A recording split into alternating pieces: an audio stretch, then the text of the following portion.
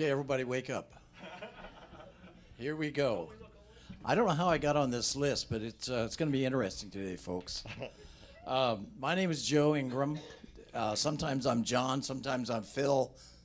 It's whoever's name tag I can find out there the quickest. Well, today I found my own at home, so we're good. Uh, we have the pleasure today of uh, having a guest uh, minister with us, and his name is Rachel.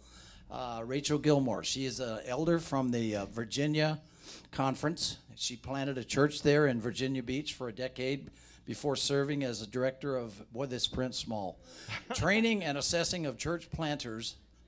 I'm hoping that church, meaning you're starting a church, not planting something. Okay. For the United Methodist denomination at Discipleship Ministries.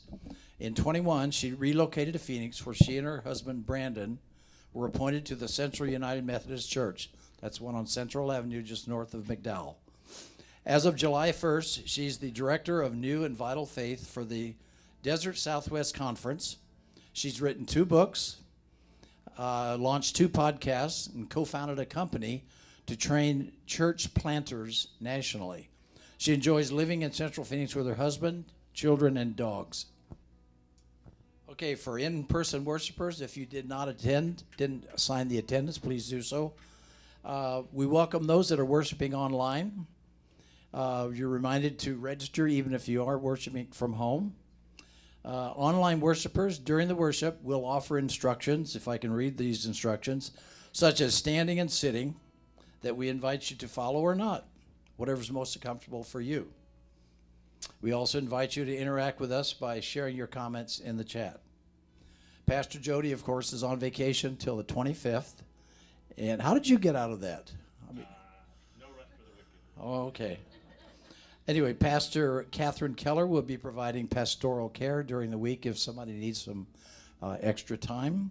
Uh, just contact the office if you would like her to contact you and arrange for a visit. So let's begin our worship with our invitation to worship. It's the song Holy in the Faith We Sing. The lyrics will be on the screen. Now, this is kind of a special song. We might not have sung it before. Uh, those of you who are musicians, if, if you want to grab one of those, like right there, those skinny little black books, they're available uh, because it goes by kind of fast. All right, I- I- it's it's a Central American song, originally in Spanish, but we'll go ahead and do it in English today. Uh, once we get to know it a little better, I'd love to do maybe a little bit of Espanol. But um, this is the Holy Holy. It's not the Sanctus from the Catholic Mass, even though it has uh, lots of holies. It's um, it, it, it, you'll get the story. Yeah, so, but the other thing I want to tell you is that it has a beat a little bit uh, difficult. It's a little bit like "I want to live in America." Uh, you everyone recognize that West Side Story? Right, right. So this has this isn't one of those one that's in a peppy uh, one, two, three, dot dot dot dot dot dot kind of thing. So it, it moves along. I'd like I'm going to go ahead and sing the chorus with them once, just or I'll sing it for you. Uh, if you know it, you're welcome to sing along. But it goes, the chorus goes like, Holy, holy, holy, holy, holy, holy is our Lord. God is Lord of all creation. Holy, holy is our Lord. Holy, holy, holy, holy, holy, holy is our Lord. God is Lord of past and future. Holy, holy is our Lord. See, that's not hard. Does that sound? That's not hard. No, no. Well, I, I- think I should do one first, real quick, because that's different. It's not the same way. All right. It goes like, in the middle of the village, beside us in our struggles, throughout the whole creation, God is the only one. Blessings in the one who teaches the good news of the gospel, the message of salvation, of peace and liberty. I'm popping my peas this morning. That's not a good thing. Sorry, people at home, if your uh, speakers are exploding. All right. So, are we ready? Let's do it. All right. Um. Yeah. Standing is optional, but it it can, it's known to help with uh, breathing and flow, you know, so stand as you are able. All right, are we ready? Let's do the intro. Ready? One, two.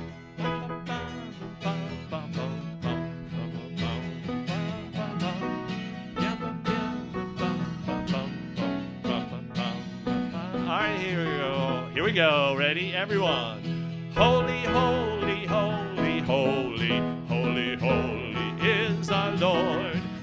God is Lord of all creation. Holy, holy is our Lord. Holy, holy, holy, holy, holy, holy is our Lord.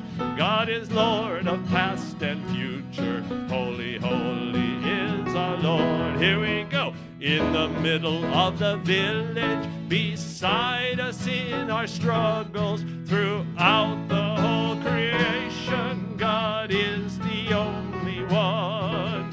Blessings to the one who teaches the good news of the gospel, the message of salvation, of peace and liberty. Now we do the whole thing one more time, just like what you just did. Ready? And holy, holy, holy, holy, holy, holy is our Lord. God is Lord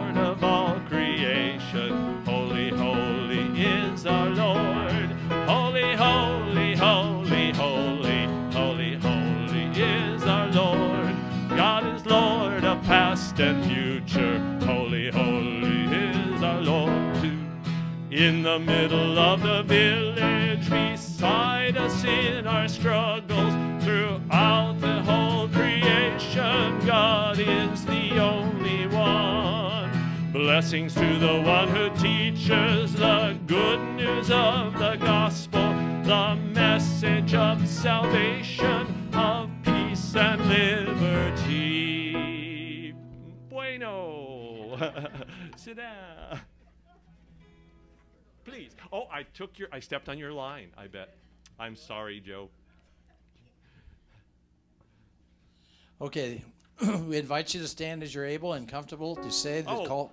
what did I do that for? yep, you're right. Okay, and I blew it. I'm sorry. call to worship. The words will be on the screen.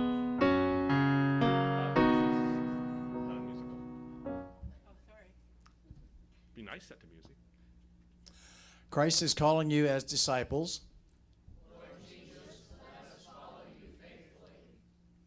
You will be led into fields of mission and service. Lord Jesus, where you lead us, we will go. Listen for Christ's call to you. We are ready to serve the Lord. Please remain standing as we sing together our hymn of praise. Here I am, Lord, number nine, 593 in our hymnal. The lyrics will also be on the screen.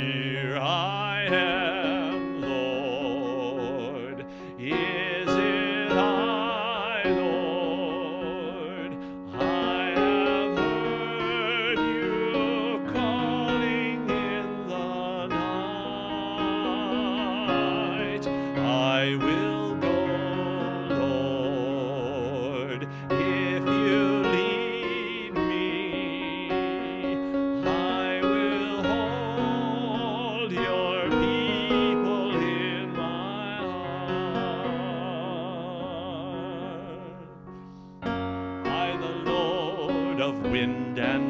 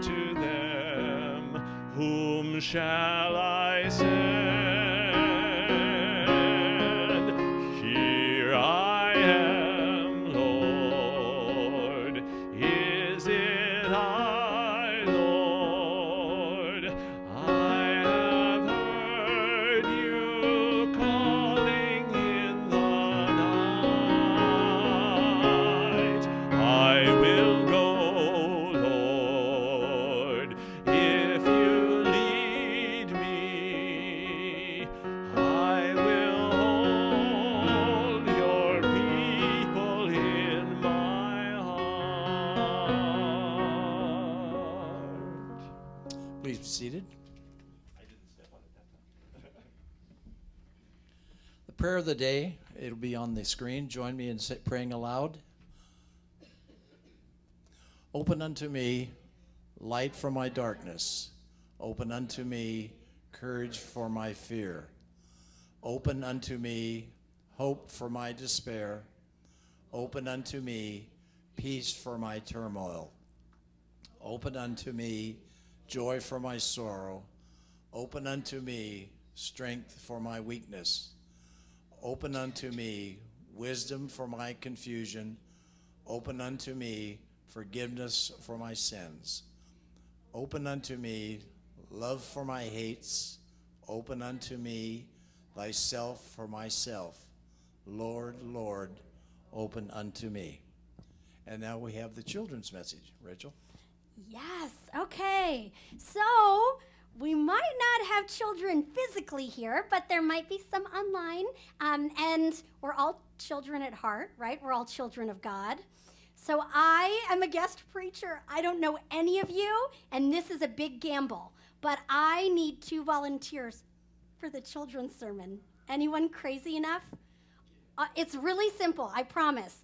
I'm going to teach you discipleship in like five easy steps. Okay? I'm yay! Thank you. Come on up and Joe. Okay, so ready? You're going to be the future disciple. So you stay right there. I'll start with Anita. Okay, so kids, sometimes when we hear that we're supposed to go and make disciples of all nations, we're not sure how to do that, right? How do I teach someone to pray or to read the Bible or to um, play the piano? I would need lots of help and discipleship for that, Anita. Um, so, okay, so there are these two church planters. I call them the Ferguson brothers in Chicago, and they came up with the easiest way so all of us can make disciples after this, okay? So it's like five easy steps. So, step one is I'm gonna do something and you're gonna watch, okay? So, I'm going to. I'm going to clap and you watch and then we talk. Do you have questions about that? About clapping? No, pretty easy. Okay, so then I'm to do it and you're to help me. So let's clap together. Awesome. And then we talk. That was good. Was it good for you? I like clapping. It was great. Okay, and then you do it and I'm to help you. So ready? You start clapping and I'll clap along. Yay. Okay, and then you're to do it and I'm to just watch you perfect. And then you're going to do it, and he's going to watch you, and I get to go. And I've made my disciple of clapping. And now Joe gets, yay. So that's how, we're all going to clap now. Yay. So Anita, you fully went through the whole discipleship process. So I do, you watch, we talk. I do, you help, we talk. Um, you do, I help, we talk. You do, I watch, we talk. You do, someone else watches. That's it. Okay, so kids, try that at home with something really fun and know that you can make disciples wherever you go. That's right, easy. That's our challenge. That's a sermon. I'm done. Just everybody go. Beat the Baptist to lunch. No, I'm just kidding. You can't go anywhere. Thank you, Rachel. Yes. That was interesting. Our scripture reading today comes from the book of Matthew as Jesus instructs the disciples to go forth and make more disciples. Listen to what the Spirit is saying in Matthew 28 16 through 20, as found in the New Revised Standard Version of the Bible. Now the eleven disciples went to Galilee, to the mountain to which Jesus had directed them. When they saw him, they worshipped, but some doubted. And Jesus came and said to them, All authority in heaven and on earth has been given to me. Go therefore and make disciples of all nations, baptizing them in the name of the Father, the Son, and the Holy Spirit and teaching them to obey everything that I have commanded you. And remember, I am with you always to the end of age. For the Word of God, for the Word of God among us, and the Word of God within us, we say, Thanks be to God.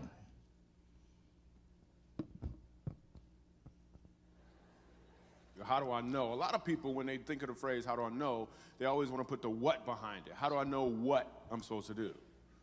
The, the question that you really should ask is how do I know why I'm here? Because when you know your why, your what becomes more clear and more impactful. If you know, like for instance, um, people know that I do comedy, but that's what I do. My why is to inspire people to walk in purpose. So I can do comedy, I can write books, I can be in a movie, because all of it is motivated by my why. In fact, I have a new, uh, a new web series out called Michael Jr. Break Time. Uh, we probably just did the sixth episode. It's on YouTube. So every single Wednesday at 3 o'clock, we drop a new episode on YouTube of Michael Jr. Break Time. What it is, is it's me. I travel around the country and I do stand up comedy, in case you didn't know. And in the middle of my comedy set, sometime I'll stop and just talk to my audience. And we've been filming this, and it's you know, it's, it's pretty cool. So we're in Winston-Salem. I'm gonna show you a clip from Winston-Salem. And I'm just talking to this guy in the audience, and he tells me that he's a, uh, a musical instructor at a school. So I was like, all right, you're a musical instructor, you know, can you sing? Let me hear you sing a song. So this is what happened at the last episode of Michael Jr.'s Break Time. Check it. So you're a musical director. Cool. Yes, sir. All right, so um, let me get a couple. Let me get a couple bars of like uh, "Amazing Grace." Can you do the first part of that? Me, go ahead. Amazing grace, how sweet the sound that saved a wretch like me. Wow. That bro could sing. You know what I'm saying? All right, all right. Um, now, what you give me the version is if uh, your uncle just got out of jail. You got shot in the back when you was a kid. I'm just saying, let me see the hood version real quick if you know which version I'm talking about. Just see if that exists. Let me see what you got. Amazing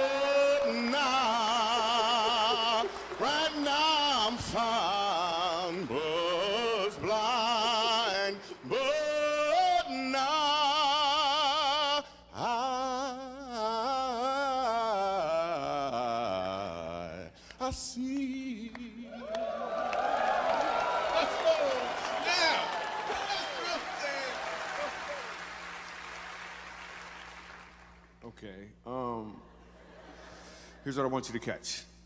The first time I asked him to sing, he knew what he was doing. The second time, he knew why he was doing it. When you know your why, your what becomes more impactful because you're walking towards or in your purpose. Isn't that the best video ever? It's my absolute favorite because um, I'm reminded that we're all in church, right? And we all have sung Amazing Grace. We could sing it right now. But I think most of us would sing that first version because for so many of us, all across the US and the world, we've forgotten why we sing. We've forgotten why we're truly here, what it's all about. Um, so that's why I'm so excited that Jody invited me to come and preach with you today. Because as the director of New and Vital Faith for this annual conference, my job is to help us get back to that why, why we're here, why we're singing. So, um, so part of my job is to help start new faith communities, and a lot of times folks are like, well, why do we need new churches? We have plenty of churches. But what I love about Arizona is we all realize there are more people coming and our churches can't keep up. Okay, so I did some, I'm a big nerd, so I did some data analysis on um, those that live within a two and a half mile radius of this building and how it's grown over the years. Okay, ready? Get this. Um, according to the census data, in two, from the year 2000 to 2010, the population within two and a half miles of this building increased 934%, from 3,000 to 33,000. And from 2010 to 2022, it increased another 67% to over 55,000 people live within two miles. I mean, I live in Central Phoenix, and this is my first time in Queen Creek, and I'm like, look at all of the neighborhoods, like everywhere. They go on and on and on. With all of these people here, it makes sense to start new churches, right? Like Song of Life, new churches for all the new people living here. The other reason that we start new churches is because people who have never been to church in their life, and we're seeing more and more of these post Christian people that were never raised in church, it's easier for them to go to a brand new faith community than one that's been around, like Central, uh, my husband's church, for 150 years. Um, and you might ask, well, why? Why is it so much easier to go to a new church? And it's because a lot of our new churches and faith communities help people understand the basics of faith. So when I planted a church, um, right out of seminary in 2009. I had a six month old son. My husband was at another church in town. And um, I'll never forget my first Bible study that I led, right? Because I, they just said, go. Well, there were 10 young adults in Virginia Beach. And I was like, Jesus got 12 disciples, and I get 10 people to start a whole church. But we had a Bible study that grew into four Bible studies. And so one night, I was leading a group for these people. And at the end, this young girl in her 20s came up and said, Okay, Pastor Rachel, I have a question. And I'm like, hit me with it. And she said, I like opened my Bible the way you told me to, and I read through like those first few books of that New Testament thing. And okay, so I know Jesus died and rose again. I get that. But why does Jesus die four times? And I'm like, what? And she said, well, he died in Matthew, and then in Mark, and then in Luke, and then in John. And I'm like, oh, that is the best, to this day, the best question I think I've ever heard because she had how do you know what you don't know? And in her mind, she's starting at the beginning, and then Jesus just keeps dying over and over again. And so I was able to explain that to her, and and then later baptize her. And now she's active at a Methodist church in Florida with her husband and three boys who have grown up in the church. But as a pastor who has like always been at, like not only have I always been in the church because my dad was a Navy chaplain and a Methodist pastor, my mom was ordained in a Baptist church, so we might get lively up in here. But um, but there's been a Methodist pastor actively preaching in my family since 1912, every single consecutive year. So the questions that I got as a church planter, like what is manna? Or you say, turn to 1 Corinthians 13. What is that? I have no idea what those numbers mean. I don't know what chapters and verses are. Like, to try to explain that to people was so awesome because that's what we're here for, right? Is to help introduce faith to people that never knew God's love could extend to them. Um, so, the two reasons to start a church are because people are coming and they need a place to go, um, or people who never thought they would come to church have now found a home. So, uh, the reality with COVID is that nationally, for Methodist churches, and I don't know what the data is like for you guys here at Song of Life, but um, what we're seeing is that post COVID, only about 50 to 60% of your average worship attendance has come back now that we've reopened our doors. So that's kind of the standard. So if that's what you're experiencing, you're in great company. That's where we're at. Um, in addition to that, if you're trying to reach people, this is why I love the technology and hi people at home. Uh, Barna did some research that found that 60% of folks under 45, so millennials, Gen Z, Gen Alpha, 60% have said they will never, ever go back to weekly in person worship again. So, if we're not doing anything online, we're saying goodbye to 60% of, of the future young adults for the church. So, um, so that can lead a lot of us in the church to say, well, people just don't care anymore. They don't love Jesus anymore. They're not taking their faith seriously. Like, why don't they care about God? But here's what's interesting um, Google, we all like Google stuff, right? On the internet, Google reported that in February of 2020, when all the shutdown stuff was happening, February and March, that the word prayer was the most searched as it ever has been in all of history. So people are searching on Google to figure out what prayer is, 50% higher than the, than the year before. Um, and at the same time, the one, some of the top 10 searches were how do I heal? How do I forgive? How do I find purpose? So people are seeking to understand faith in God, but they don't think they can find it in a church. Like, why is that? Um, and when I was trying to think about why people are searching for God but don't know that they could search for God amongst Christians or in churches, I was led to the three parables in Luke 15. And I'll get to the, the Great Commission verse too. Um, but in Luke 15, it starts with three stories of people or things that are lost, right? So we start off where there's a shepherd and he loses one out of a hundred sheep, right? So he leaves the 99. How many of you like grew up in the church? Do we all remember this lost sheep story, right? So he goes on out, he finds that lost sheep, he comes back, and he throws a party because that one sheep has been found. So he lost 1% of the flock and, and found him and celebrated. After that, we read a story about a woman who loses one of 10 coins. So a 10% loss, right? And she searches everywhere, she cleans the house, she finds that coin and invites her friends over to party, party, party. Um, and then we move to a loss of 50%. So from 1% to 10%, you see it's growing more important and it's the parable of the lost son, the prodigal son, where a father has two sons. One son says, Give me my inheritance now. I'm going to Vegas. I'm going to gamble. I'm going to find some loose women and drink too much and live up my life. Um, and he realizes that was not a good choice and fulfilling. And so he comes back home, and his dad gives him a great outfit and throws a big, big party for him. And so, if you've grown up in the church your whole life, like I have, we always hear, like, hooray, the lost son comes home. Every single person is found. I hate to break it to you, but um, in Jewish tradition, when they write stories like this, it builds, and the ending is the most important. And so, in the story of the prodigal or lost son, at the end of that story, one son is still lost. He's not found. And it's the son that never left home, the son that always stayed there.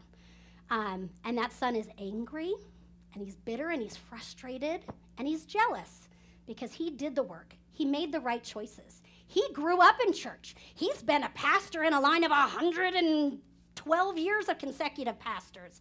He's led trustees. He's led the Sunday school, or she's led the vacation Bible school. She sang in the choir. I've been here my whole life, and you're telling me someone's going to walk through those doors and take my spot and take my pew? I don't think so. And so at the end of that story, that lost son is so angry. He turns to his father and he doesn't say, Oh, my brother is a hot mess. He says, Your son, this son of yours, wasted your money. How dare you welcome him home? And people outside of the church don't think they can find answers to God inside of the church because Okay, it's a truth moment. I get to preach and run away. You can yell at Jody about this later. It's because a lot of our churches are, are full of these older sons who don't want to celebrate and rejoice. Um, we've done the work and we want the credit, and we want to keep the doors of our church open for us. I mean, that's a harsh truth and reality, but I'm going to name it because we're all here to work through this together. Um, So, what do we do if new faith is about celebrating and parties, and not all of us are hardwired to party? Uh, what might be the answer to revitalize uh, churches, revitalize faith communities? And that's where we get to the Great Commission, where God, uh, Jesus, before he ascends into heaven, tells his disciples, Go and make disciples of all nations. And when I heard that as a kid, I was like, oh my goodness, I just imagine like Jesus in this powerful place and sending us out like to Timbuktu or where, you know, sending me from Virginia Beach to Phoenix, make disciples. Um, but again, being a nerd, I love languages. And if you read that passage in Koine Greek, the original language that we have, have it in, the word go is not a command. It's not in the imperative. So Jesus isn't saying, Go, get out there, Rachel. Go do that one thing that one time. Go and make that disciple. Another translation of the Great Commission is, As you are going, make disciples. So it's not a one and done kind of thing. It's as you are going, as you go to the grocery store, to the golf course, to the library, to family dinner, to your neighborhood association, to the pool, to the mall, as you are going, wherever you go, make disciples. It's a way of life. Everywhere you go, there's an opportunity to see someone and love them with God's love that leads to a great party and celebration.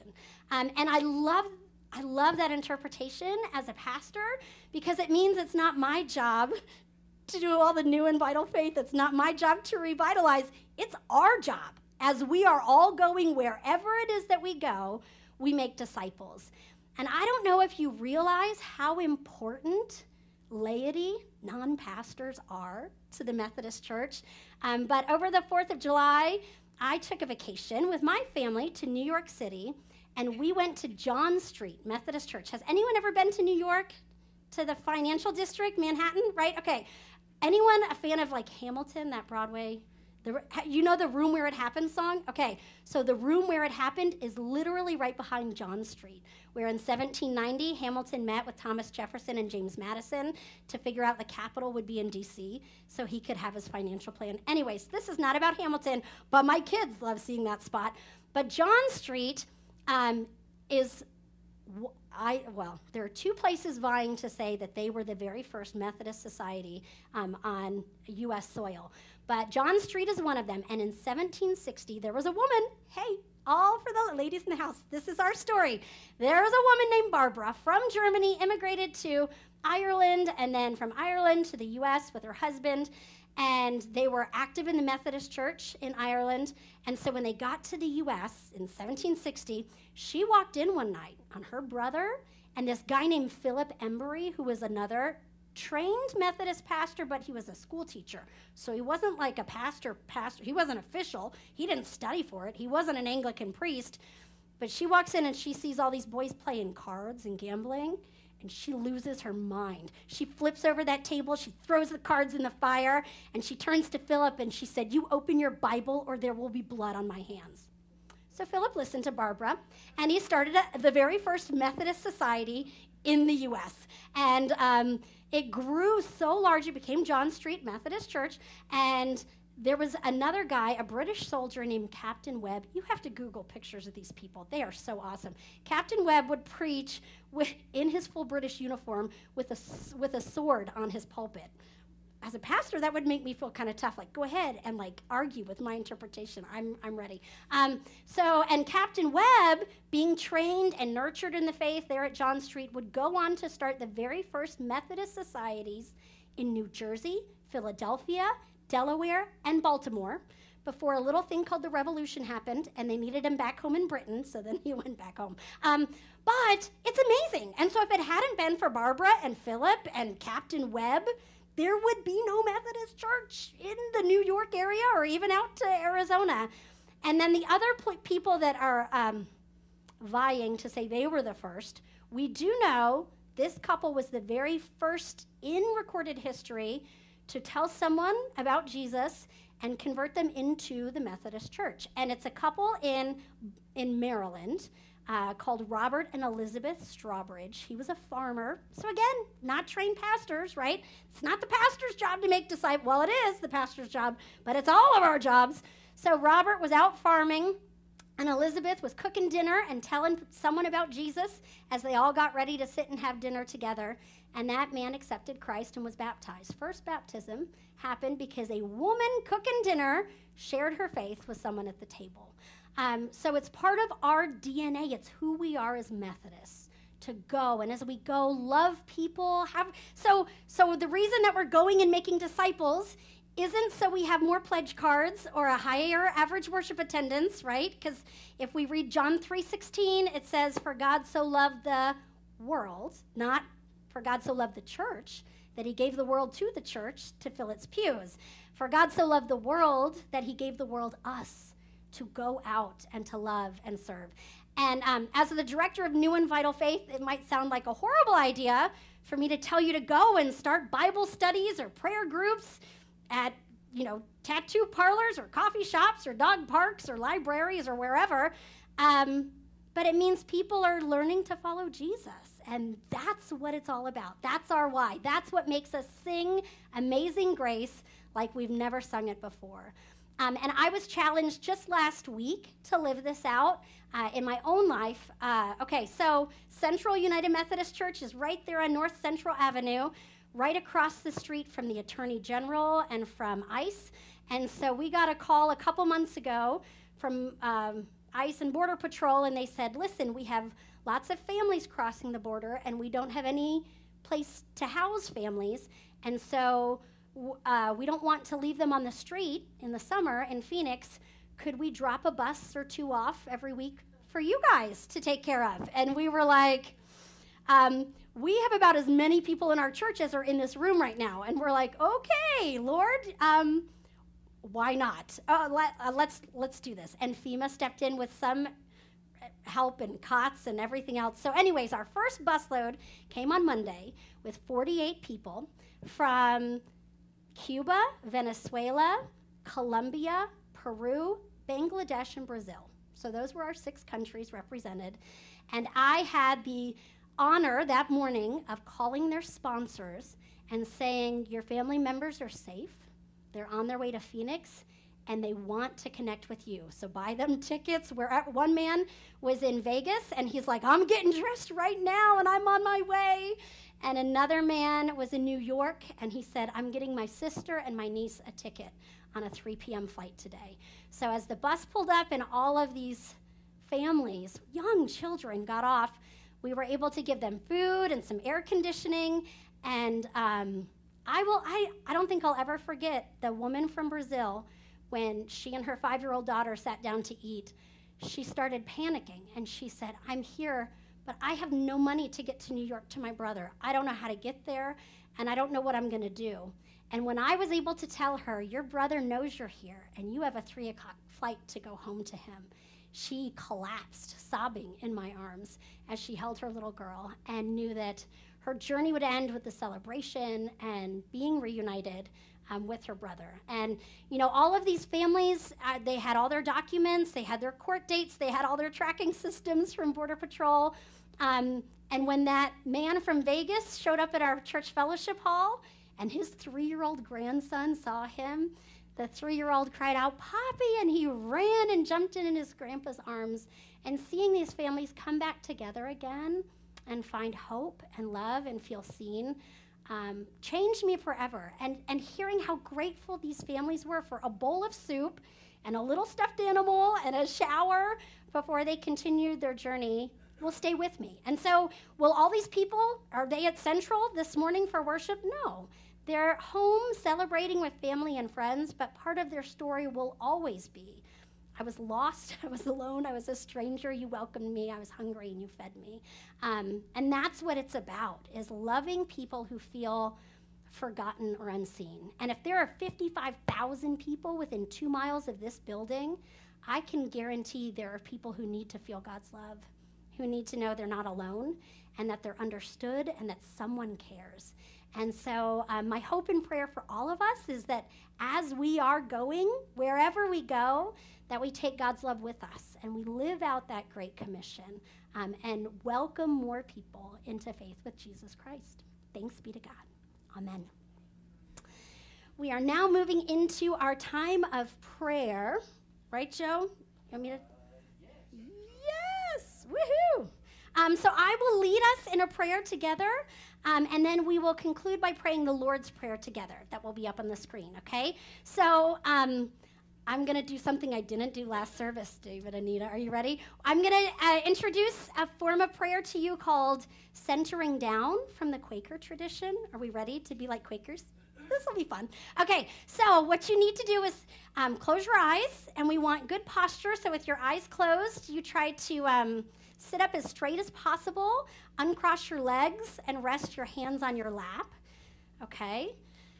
And all you have to do for the first few moments is just breathe.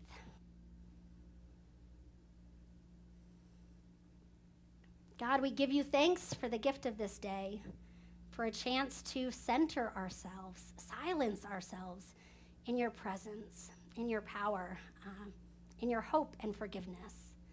And so, for a moment, Lord, we just want to rest and feel your love fall upon us.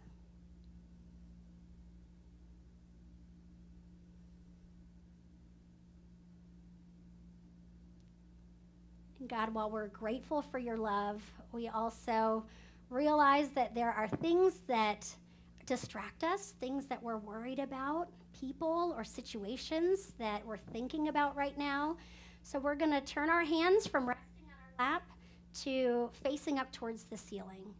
And so, God, as our hands are facing up towards the heavens, we're mindful of all the things we're holding on to, of concerns about our health or the health of loved ones, or of upcoming plans or work stress or whatever it might be, Lord. These are things and situations, uh, people that we just can't control. We can't fix it.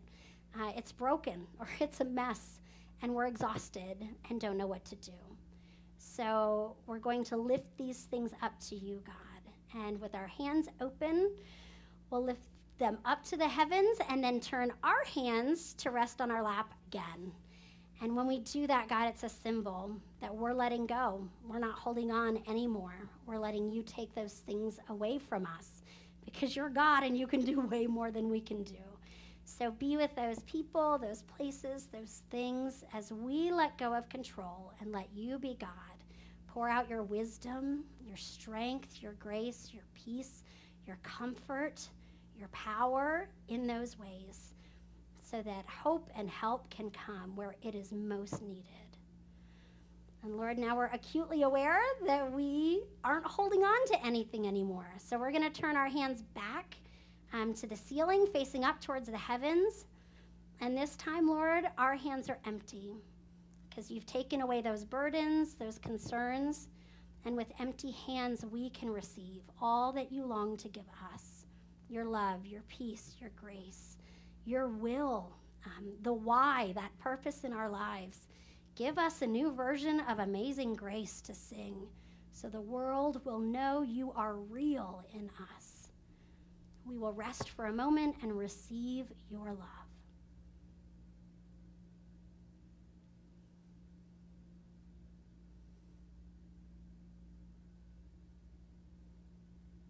God, we are grateful for the new ways you are at work in us and around us. And we pray that you would continue to challenge us to get outside of our comfort zone, to make disciples of Jesus Christ for the transformation of the world. We're also thankful for old things, for traditions that ground us and provide a foundation. And so we cry out to you now using the words that your Son taught us as we say, Our Father, who art in heaven, hallowed be thy name. Thy kingdom come, thy will be done, on earth as it is in heaven. Give us this day our daily bread, and forgive us our trespasses, as we forgive those who trespass against us. And lead us not into temptation, but deliver us from evil. For thine is the kingdom, and the power, and the glory forever. Amen.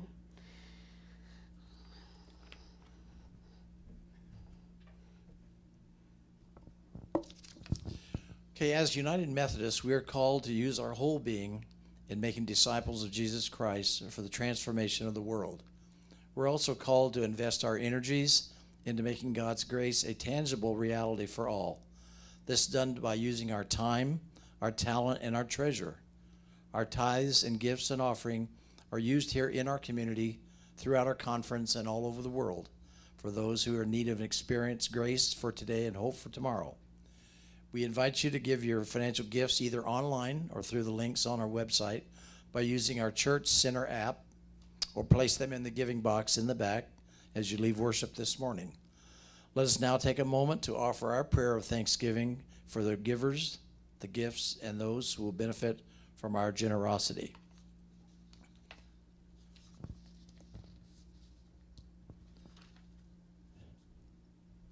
And my offering prayer is as follows Your word says that the earth is yours and everything in it. We recognize everything we have belongs to you. We now offer back to you a portion of what you have given us. Help us to bring these offerings with an eager heart. Bless us and keep us. Make your face to shine upon us. Give us peace in these trying times. Through Jesus Christ our Lord. Amen.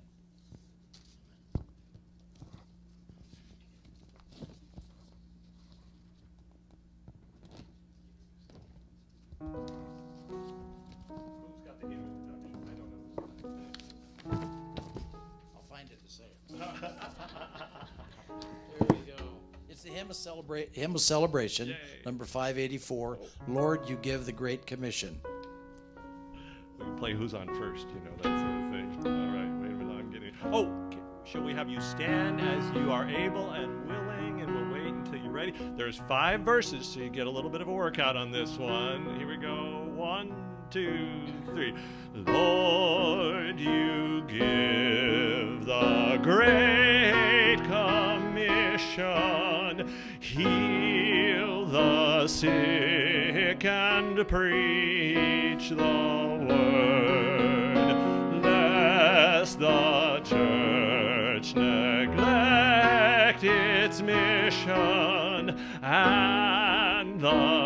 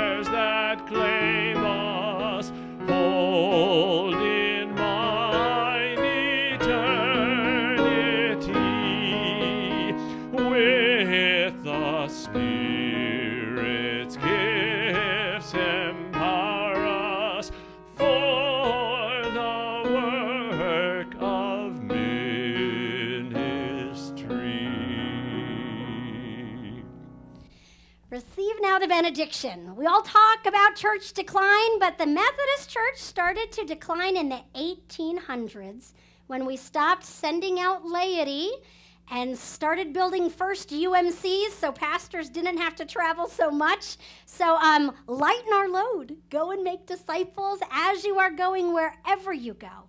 And know that you will not be alone, not even for a moment of this journey, as you go with all the grace, peace, and power of God the Father, God the Son, and God the Holy Spirit. Amen.